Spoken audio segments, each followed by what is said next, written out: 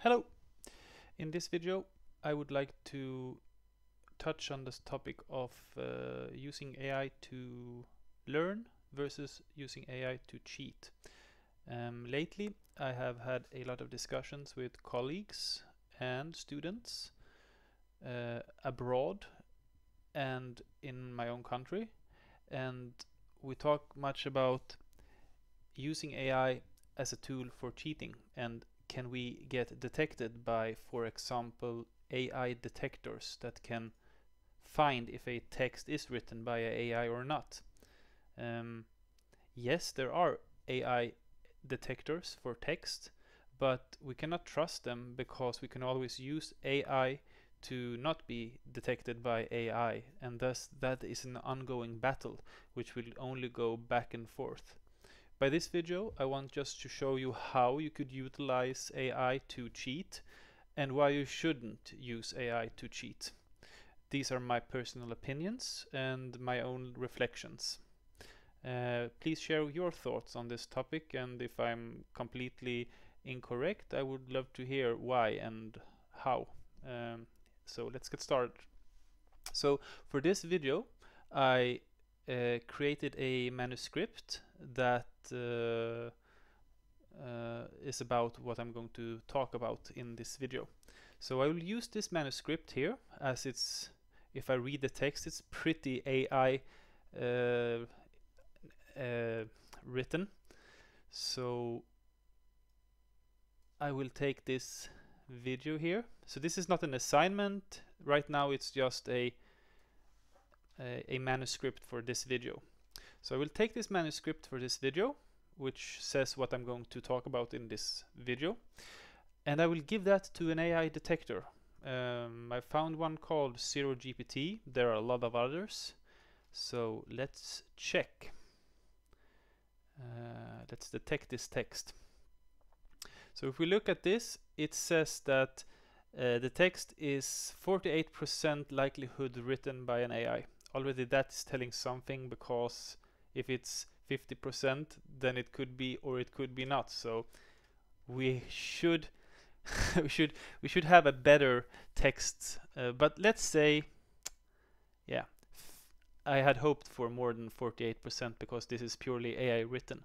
Anyhow, we can probably lower, lower this percentage. So, let's do that. Let's do like this. By the way, I'm using two plugins. I'm using something called WideGPT, which lets me control the width of my GPT because I like using this tool. And I'm also using voice control because I like to talk with AI because it's much faster than writing with my keyboard. So let's let's do it like this. I will give you a text that is written by AI. I would like you to analyze why it's written by AI. I want you to give me a list of 10 points on how we could why we can find that this text is written by AI. This is not the best prompt, but we will try it. And then we also give it this text which the AI has written. Analyzing the provided text for signs that it was generated by AI involves looking for a certain pattern, characteristic, or nuances that AI written text commonly exhibits. Here's a list of 10 points explaining why the text might be identified as AI generated uniformity in tone, lack of personal anecdotes, overly formally, formal language, repetition of phrases, broad and general statement, predictable structure, lack of specific examples. There's a lot of good tips here why a text might be written by an AI. So let's take these 10 points. So we say like this. Nice. Let's take these 10 points and apply them to this text so it looks less like an AI text. I want you to think thoroughly and in depth and analyze the text I give you and then you will apply the 10 points on that text to make it less AI. Do your best job. I trust you. Yeah. So we give it the text again.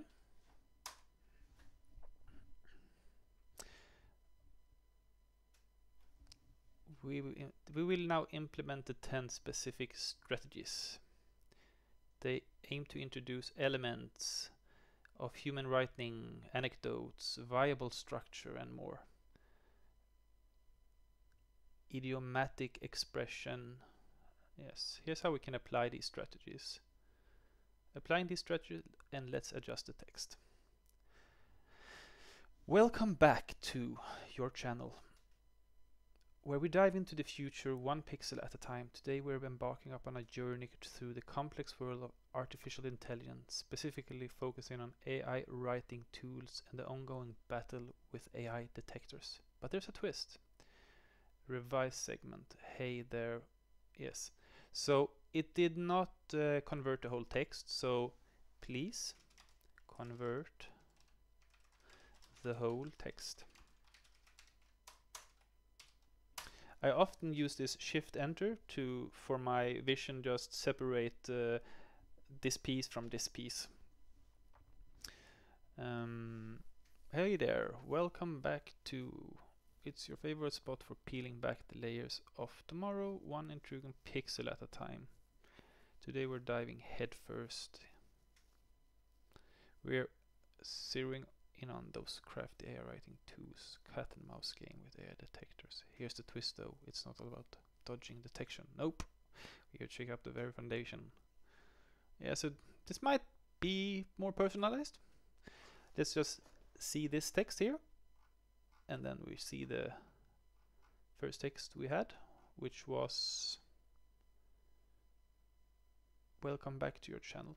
Anyhow, we will now take this text here, which is the which is the new text with the applied non-AI tone, so to say. Can I just, okay, so we take this here. And then we go to the AI detector.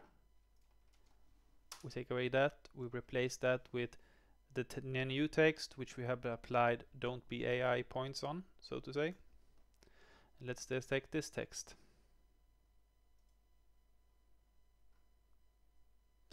So now it's uh, human written with an 8% uh, non-AI. So we went from uh, let's take uh, let's take the original text again, which we have which we have here. Uh, yes. So with that little tweak, we, according to this um, AI detector, we went to 8.4%. So we detect this new text here, and that's at 48%. Both are AI written, of course. But this was just like one pattern you could use. Um, other patterns could be you give ChatGPT a piece of handwritten or your own text, and then you ask it to analyze that text and uh, find the essence of uh, you uh, the words you use, the grammar you use, the vocabulary you use, and so such. And then you try to apply that also on the text, and then it will be even more personalized, like you have written it. And there's like an infinite amount of techniques you could use like this. Anyhow, AI detectors are a thing, and they pro can probably find AI generated text, definitely. Uh, but there's easy ways to go around them, probably, and also they are not reliable.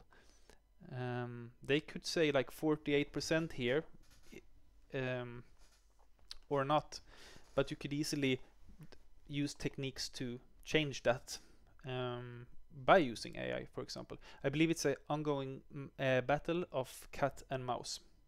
Anyhow, so I wanted to highlight this topic, for example, that AI, AI uh, detectors are maybe not to be trusted, um, but they could be trusted in a way as well, because if a student, for example, does not care about uh, the schoolwork um, and just say, please finish my schoolwork for me,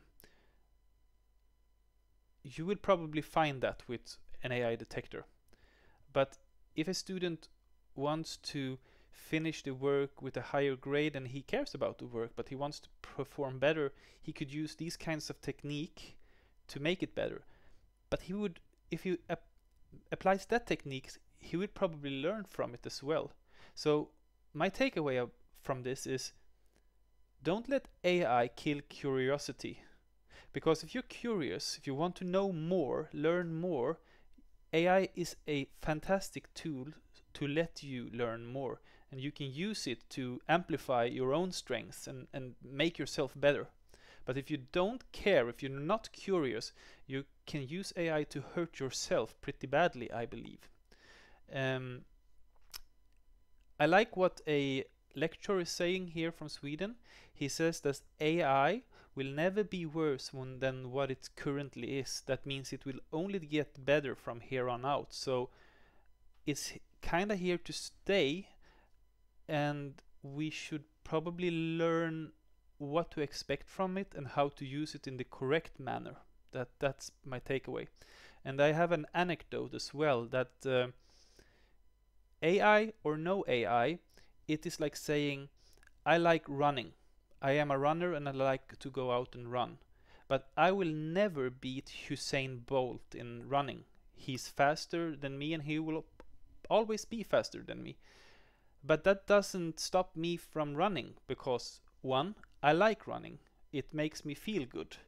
Two, it's something to challenge myself because I'm not competing against Usain Bolt. I'm competing against myself.